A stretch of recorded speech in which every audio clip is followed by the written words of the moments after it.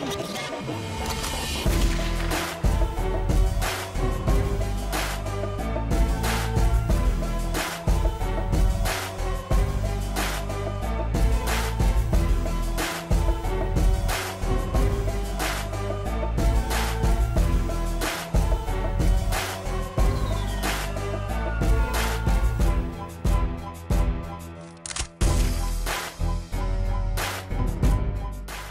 Phenomenal. You know, he really lets the game come to him.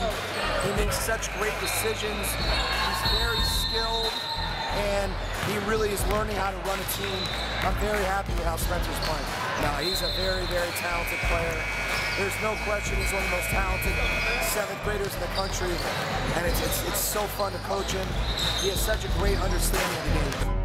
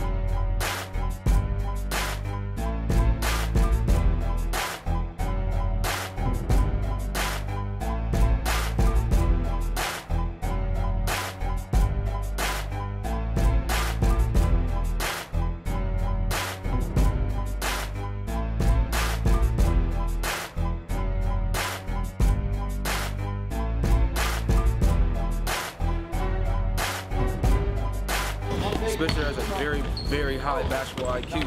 As long as he plays within himself, he's going to do well in just about any game he plays in. I thought Spencer played well.